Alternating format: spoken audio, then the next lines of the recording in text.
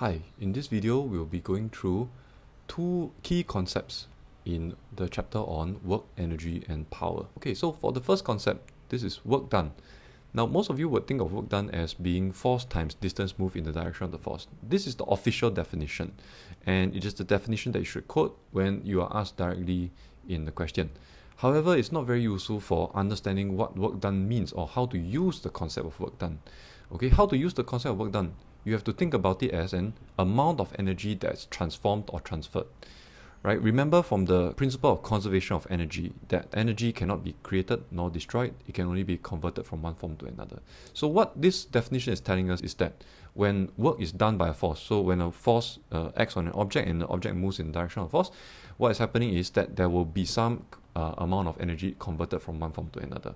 And the work done, that amount, that you calculate is the amount of energy that's converted. So let's look at a very simple example. If you have an object that's dropped from a certain height, uh, it's going to lose GPE and it's going to gain KE, right? So GPE is being converted to KE. Now, if you think about the forces that are acting on it, there is a weight, which is basically gravitational force acting on it, right? And uh, as the gravitational force acts on it, the object actually moves through a distance downwards, right? So basically, right, the work done by gravitational force is referring to amount of energy converted from GPE to KE. And this is very helpful for us to understand what is the flow of energy or what are the conversions in energy that are taking place. And this is very important because this is what will help us to construct our equation to help us to solve. Just like what I mentioned earlier, you know, if you just read the textbook for conservation of energy and just memorize it, right, you you you will come up with this line: energy cannot be created nor destroyed; it can only be converted from one form to another. But uh, at this level, Sec three and Sec four, we have to uh, think deeper, right, and try to understand some uh, implications behind all these statements that we are asked to memorize, not just memorize alone. That's not good enough for us to score our A's anymore. Okay, so the thing that we have to consider deeper now is if energy is conserved, what is the flow of energy that is happening, right? If you can create a flow chart of what energy is converted to what energy, you can actually use that flowchart as a guide to help you to construct an equation that can then help you to solve the question. We, we can look at two examples uh, moving forward. These examples are showing you the key concept number two, which is that it is very important for us to construct a diagram to understand the flow of energy in the question and then use that diagram to help us to construct an equation that helps us to solve. Okay, so that's key concept number two. Let's have a look at this question. Now you can pause the video here and try it on your own first before uh, resuming the video and uh, I'll show you the answer. Assuming you have tried the question already, this question is giving us a block that's sliding down uh, a 10 meters of a rough slope. Now when the question says rough slope, this means that there's friction involved. Okay, and here it says frictional force of 5 newtons between the block and the slope. And we are supposed to calculate the speed of the block when it reaches point P here. We have to think about the flow of energy first, right? So construct a diagram. What are the energy conversions happening here? We start off with the block at a high point and then at a low point, right? So obviously what's happening is the energy is starting off all in the GPE state. And then as it slides down, this GPE is going to be converted to KE. Now along the way, uh, the block is actually going to do some work against friction as well. So in not 100% of the GPE will be converted to KE because some of the GPE will be used up to overcome friction as well. And we can call this work done against friction. Okay, now if you remember the first key concept that I mentioned, work done always refers to some amount of energy, energy that's converted, right? And in this case, work done against friction basically means that some of the energy is converted to heat. Remember when you have friction, you're going to produce heat. And where does that heat come from? From the GPE in this case. We can use this to then construct an equation. We can say that the loss GPE is equals to the gained KE plus the work done against friction. Okay.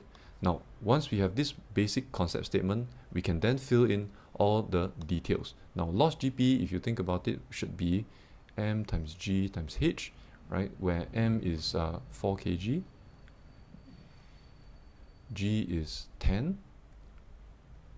Oops, I can't write this anymore. 10. And h is the vertical height here, 5. Okay, now gained KE, it's very important for us to note that gained KE is, we are talking about an increase here. Huh? So we have to write like final Ke half mv squared minus initial Ke. We must always remember to minus the initial Ke. Okay, in this case, initial k is 0, uh, so we just put a minus 0 there, okay? But this is to, uh, this is a good habit uh, to put even if it's minus 0 because sometimes in the more tricky questions, the initial is not 0. And if you don't have this habit, you might miss that out and make a careless mistake. Okay, now next thing is work done against friction. So that would be force times distance force times distance and that would be frictional force 5 newtons distance uh, that's moved in the direction of the frictional force that would be this distance here 10 meters okay?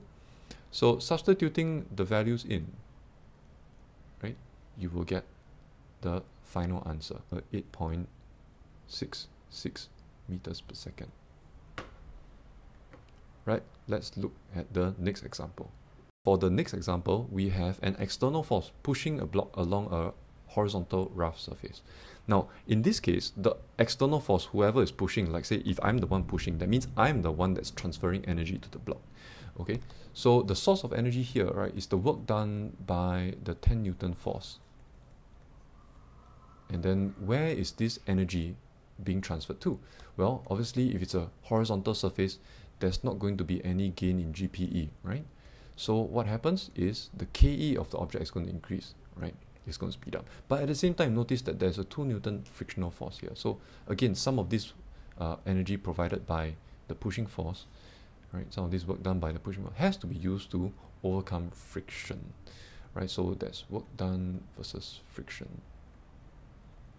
Okay, so again, using this idea that we have in our head now, we can construct an equation, right? So the work done by the 10 Newton is equal to the gain in Ke plus the work done against friction. Okay, and then from here again we can convert it to uh, the uh, formulas.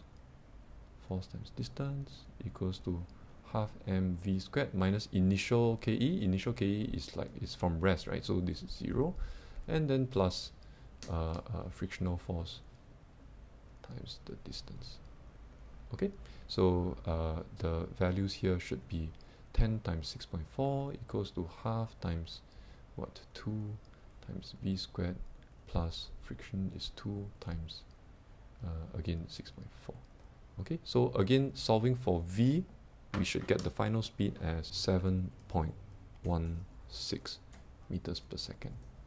Okay? Right so i hope that helps and i'll see you in the next video